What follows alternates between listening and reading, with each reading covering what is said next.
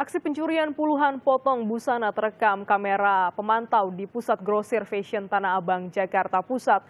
Dalam aksinya, pelaku memanfaatkan kelengahan penjaga toko.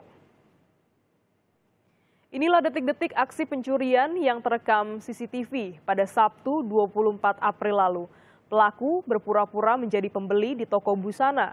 Kala itu pelaku meminta penjaga toko untuk mengambilkan busana yang ingin dibeli oleh pelaku. Saat penjaga toko lengah, pelaku yang menggunakan celana panjang jeans, kaos, dan topi langsung melakukan aksi dengan menggasak satu bundel pakaian yang berisi 45 potong busana lebaran. Menurut penjaga toko, aksi pelaku terbilang cukup lihai dan profesional lantaran beraksi kurang dari dua menit. Kendati mengalami kerugian hingga jutaan rupiah akibat aksi pencurian ini, korban mengaku enggan membuat laporan polisi beres-beres. Kebetulan dia yang beli. Hmm. saya nggak yang beli. Hmm. barang yang diambil. Barangnya yang lagi diambil sama saya. Hmm. yang dibeli. Terus saya pindah ke depan ke sini ngambil yang lainnya lagi. Ya paling selingan dua menit lah.